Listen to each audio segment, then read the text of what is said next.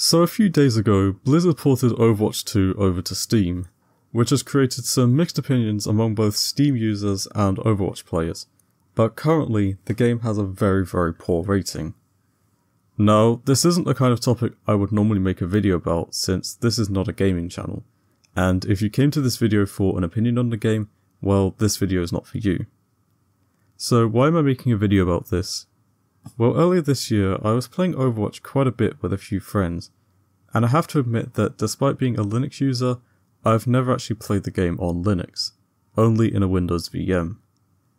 While I knew people had gotten Overwatch to run on Linux through Lutris, I just assumed it would be a very tedious process, and it doesn't help that my internet is quite slow, so I didn't want to spend a long time downloading it if I couldn't get it to work, I just wanted to play.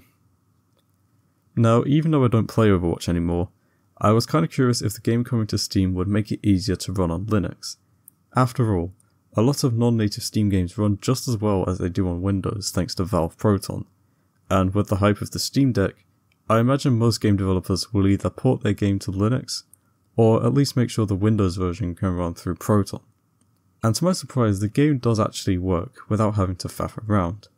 And I assume it works because it doesn't have an anti-cheat and the Steam version doesn't require Battle.net. Now, I was running the game on Arch Linux, and so you might get a different result if you're using Ubuntu, Fedora, Void, or some other distro. But in any case, if you're interested in using Linux and you play Overwatch, then you're in luck.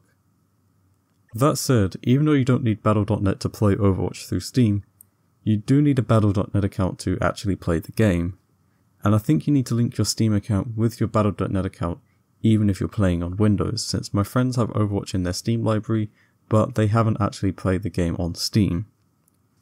In any case, thank you guys for watching, and I'll see you in the next video.